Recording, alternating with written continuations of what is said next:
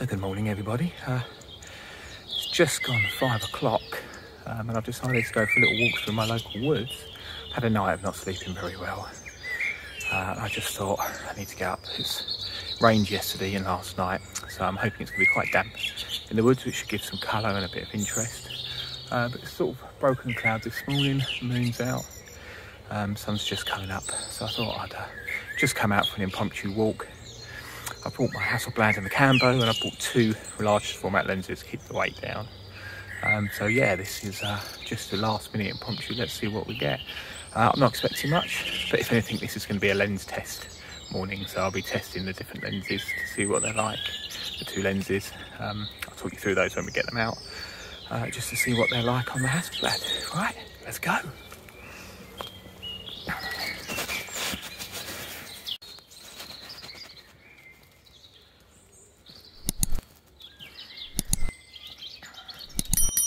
Yeah so uh, yeah just set up for a, a shot here. Um, it's not the uh, uh, greatest of images but uh, it's more sort of test shooting. So you can just see here we've got these kind of mixed crossover trees happening just kind of here. Uh, and then I've got these nice kind of lighter colour trees stood up in the background. So I'm shooting a, a 2x1 panoramic on the camera. I've got tripod mounted. I've got the Arca Swiss. I've got the Cambo Actus I've got my uh, Digis, I've got to pronounce these right, I need to learn how to use. I've got these Rodenstock Grandagon N, uh, 75mm uh, large format lens on bellows, and then my Hasselblad on the back. Uh, so this is the shot that I'm shooting. Clear the screen. So you can see we've got those tr twisted trees coming through, and then these uh, lighter birchy coloured uh, lighter trees in the background as a 2 by one crop. So basically what I'm doing is test shots. So I've setting the aperture all the way from 6.8 in the increments from 8 to 11, 16, 22, 45. So shooting each aperture and then just adjusting my settings on the back of the screen um, to, to get the correct exposure uh, of what I'm after. So um, shooting on the electric viewfinder this is really cool because you can set your shooting times. That's really good on that. So basically what I'm doing here is finding, so I'm using my histogram, which we can see here. We've got my metering down here, and then we've got my time value here. So basically I'm adjusting my time value till I get just slightly underexposed. So there we're shooting at 51 seconds uh, and we're just underexposed at uh, half a stop. Uh, I'm shooting ISO 64. So the histogram isn't reading generally, I think because it's too dark on the screen, which is fine. I've set the composition, the focus is there. You can just about see all these little cyan dots. That's the focus peaking. So that's telling me that we are in focus. So just grab the button, fire the shot, and then we'll wait for the camera to count down and then once the camera's finished you can just press the little play button and we can see the image. So we can see the histogram is very good. It's not blown out. Got loads of detail in the bottom. There's no underexposure. Clear the screen and that's the shot. So yeah so the idea then is I've got the same shot loads of times uh, all at different apertures. So then I can go home pixel peep um, and decide how I feel how, how that lens performs at all those apertures. Um, I suppose woodland's very good for this because there's lots of texture, lots of detail, lots of things going on that you can look at. Obviously, the only thing to consider is that I'm in a crop mode where I'm shooting uh, a two by one pano, so I don't have the corners, but I will have the corners on the raw file, so I can have a look at that as well. Um, yeah. Uh, so let me talk you through the setup uh, of the, the Rodenstock on the cat on the Cambo with a Hasselblad and let me talk you through the way I compose the image and the process that I go through. So the way I set up is um, on the on the Rodenstock lens you have have a little switch here which flicks between uh, shutter closed, shutter open um, but that also allows you to remove the aperture ring. So as you move the aperture ring you can see that the aperture opens and closes. The way you would fire this lens is that you would, uh, get my finger right, you would where you'd fire this lens is you would close that, get your aperture where you wanted. You'd, you'd turn this dial here, which is your time value.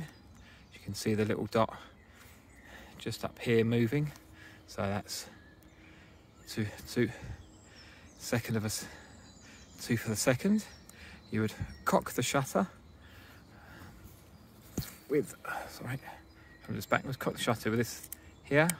You'd have, um, and then down here, you have a little cable release, which you would, which screws into there. And then you press the cable release and it fires and you would have seen at the same time. I'll do it again so you can see, cock, and when you fire, you can see the aperture ring opens uh, and then that lets the light through. So that's how you would generally take uh, a large format image on a large format camera. Because we're using a digital back, we can do it slightly differently. We can use the electric viewfinder on, on the camera itself. So the way we're going to do this is we're going to adjust this lever here so that it's in the open position, which then opens the aperture, uh, sorry, opens the shutter, so then we can control the aperture.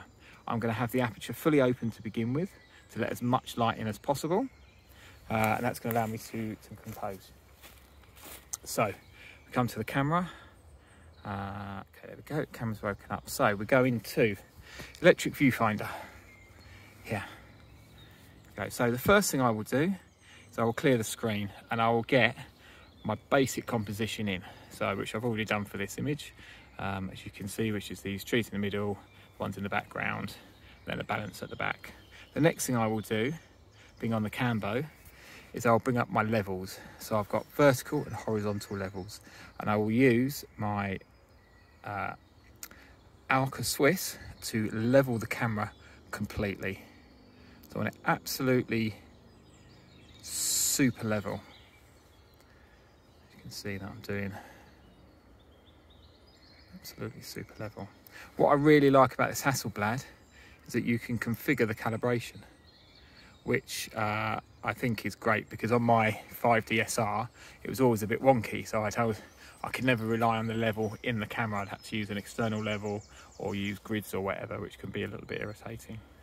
So that's the next thing I do is I completely level the camera. Once the camera's level, if I need to make any adjustments, so for example, if I need to make any shift movements, so to shift the camera left or right, just to get the composition how I want it, then I can do that. Again, if I need to make any rise or tilt, which I have done in this image, because I didn't want any sky in there, so I've brought the sky out and then I've come down to get the foreground where I want it. So roughly about there, lock that off. So, so that's the rise and tilt. You can literally see the camera moving up and down, little lock off there. And then we've got uh, shift here, which moves it left and right, which allows you to really fine tune the composition from that point of view there. The reason you want to have the camera level is it's all about perspective. So if you if you point the camera down or up, you're going to get converging lines of, of the verticals, and that, uh, like especially with trees, everything comes to a point in the middle or comes to a point at the bottom. It doesn't look natural. Um, so we want that everything perfectly straight. Of course, we always want our horizon straight, less we're being artistic um, because it's a, it's a landscape image. That's, that's where we want. Once I've now got my exposure in, I then get my focus. So for focus, again, I clear the screen and then I find what I want to focus on, which I decided to focus right in the middle of these two of these two branches here. And then I've got my focus dial here. And the way the focus works on these cameras is you don't focus the lens like you would with an SLR. So there's no focus ring on the lens. It's all done with the bellows. So it's the distance between the film back and the back of the lens. The back of the lens actually is about here because it protrudes a little bit from the lens board. I'll show you that one day. So then we have our focus gear knob here. I get roughly zoomed in where I want to be and then we can rotate. So I've put onto here, it's called the fine focus gear knob. So I've got a large movement and I've got a really fine focus. So I can really fine, refine that focus. And I should have focus peaking on. Yes, you can just see the odd dot coming. It's because the image is quite light, you won't see it completely. So now that I'm completely happy with that, I can zoom out, double check everything. Not so sure, I just want to bring it down, down a tad to about there. Check my swing, pull that there a little bit. So now I'm completely happy with my composition. The next thing I'm going to do is I'm going to change my screen to the to my um, exposure settings. So I've got different screens that I use, which is quite nice. So this is my exposure settings, which just tells me exposure. So the first thing I'm going to do is I'm going to set my aperture. So in a woodland, I think, you know, um, before I learn this lens, I think we're going to go f11, um, which will give us a good depth of field. It's a good starting point. And as you can see, as we come back around, that's made an adjustment to the screen. The screen's gone darker. So we can see from the histogram that it looks quite dark in the histogram. And we can see from the metering as well that we're 1.9 stops down. So that's a little bit dark. So we're just going to click on our time value. We're going to add some more time. So let's try one six. So we're about, oh no, that's two seconds, two and a half seconds. Yeah, so two and a half seconds gives us a uh, a meter reading of 0 minus 0.7. I think that's going to work when we look at the histogram. So again, use my gold button and we're just going to go click. Then the camera counts down, does its thing and shoots the image. Then the next we can, thing we can do is just press the play button and have a look. So the first thing comes up is the image and the histogram.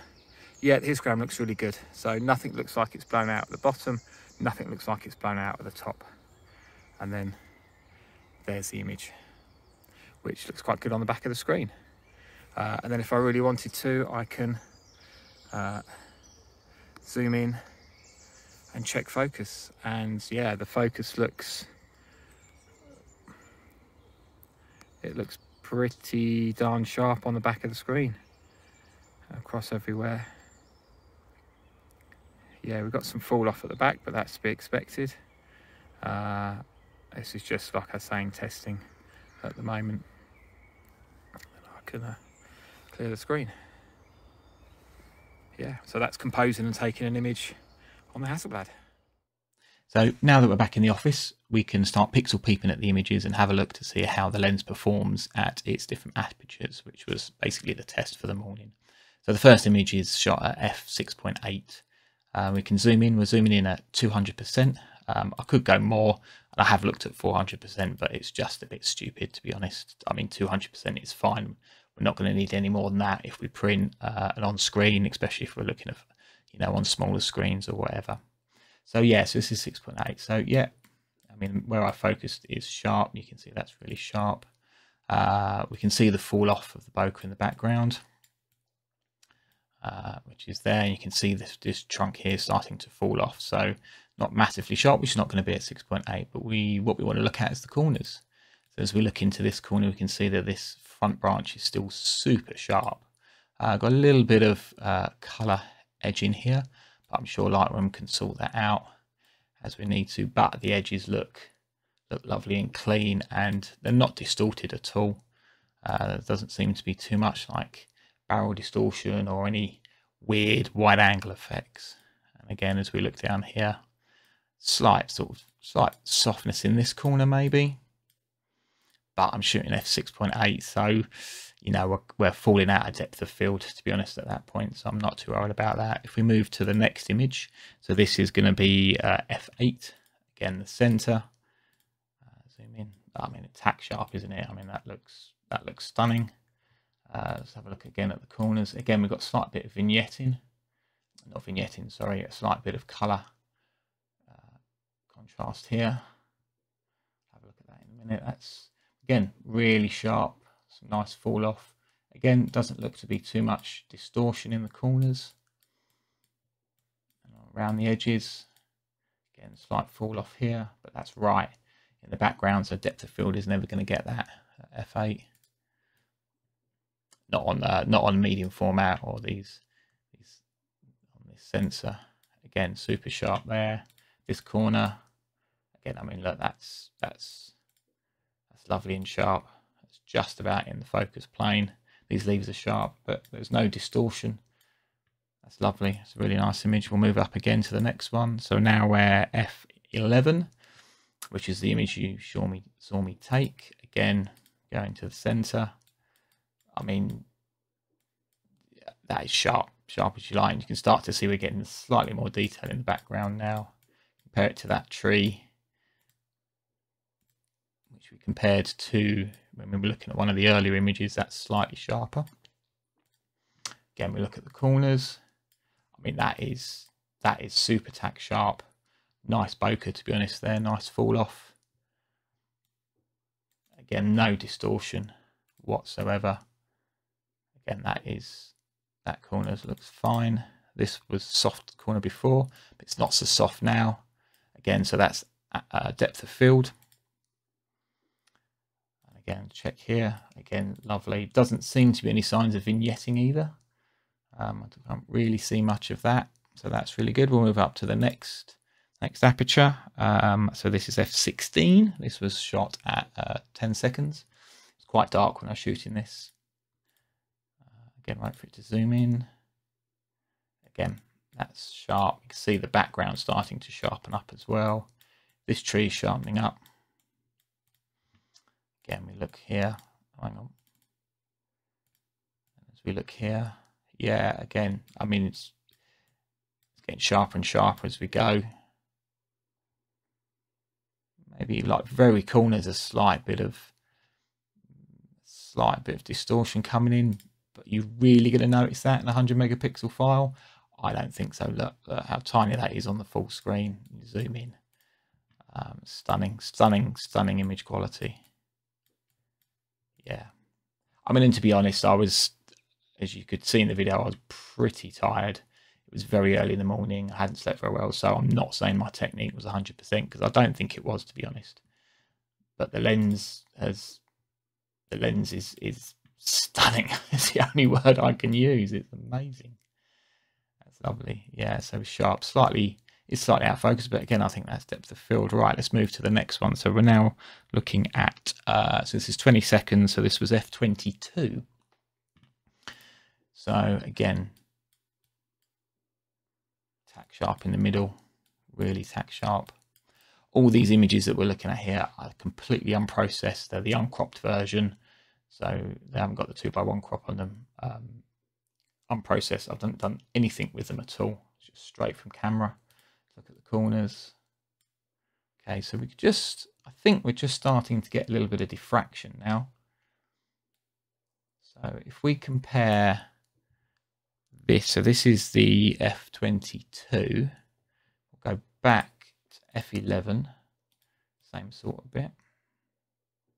It's F11, so that's sharp. That's just starting to diffract a little bit in there. Very subtle. But that's just starting to diffract. Okay, so that's interesting. So what we can do is we can have a look. So let's go up to F32 and we'll check the same corner. So this is F32. We can definitely see it's softening off here, which is diffraction. You can see though that color cast has gone though. Those little sort of purpley orangey bits that were poking through have gone. Go back to F11. Check. Yeah, you can see this. So this is this is sharp. But we go to F20, F32, and it's not sharp. So right, okay. So now we know the limitations of the lens. As we start getting to F 22 and up. Go back to that corner. We're going to start to diffract. And then let's look at the final one, which is F45. Again, same spot. So that's really soft, it's getting really soft there. Okay. So on on large format, I'd expect more from the lens if I was shooting on film or anything, but I'm not shooting on medium format Hasselblad, so I know that my limitation with this lens is going to be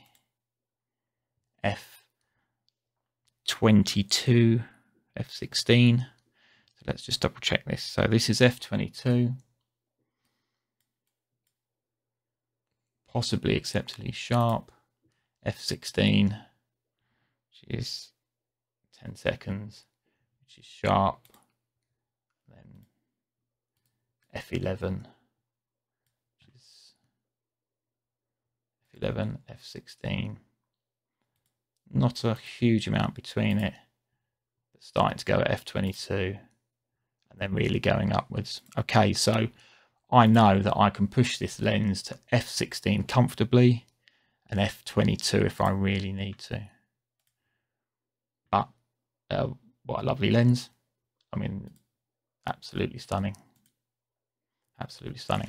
Once I start using the, the tilt movements as well, though, that will that will change it slightly because we're playing with the depth of field, which will be completely different.